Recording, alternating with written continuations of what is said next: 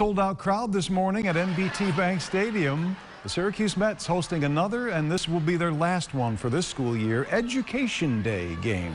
Students and teachers packed the stadium to enjoy the ball game, along with a combined education component. Kids got to use their smartphones to experience augmented reality during the game. You can scan their QR codes, maybe catch one of those free balls or whatever they're throwing out.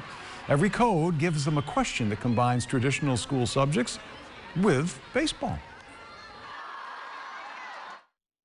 All the credit goes out to the teachers, the administrators that let the kids come out and get this kind of outside the classroom educational opportunity.